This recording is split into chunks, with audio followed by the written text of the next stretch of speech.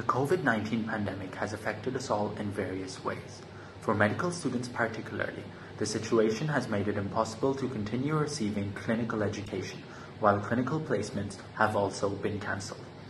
As a fourth year medical student based in Pakistan, the desire to help out in whatever capacity I could was burning. However, due to the contagious nature of the virus, no such opportunities arose.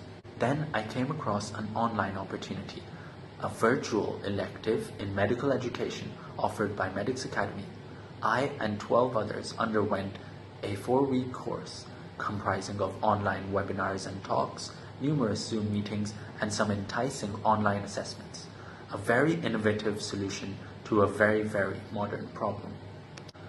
The topic I chose to focus on was the correlation between sleep and viral immunity and the role it can play in the global COVID-19 response. In these four weeks, I made a tutorial, a one minute learning bite, and will soon be delivering a 45 minute webinar relating to this topic. Not only did I have the opportunity to complete a full elective during the lockdown and meet some great people and amazing mentors along the way, I also managed to highlight the role of sleep to the general public and emphasize the importance of getting a full night's sleep in the setting of a global pandemic.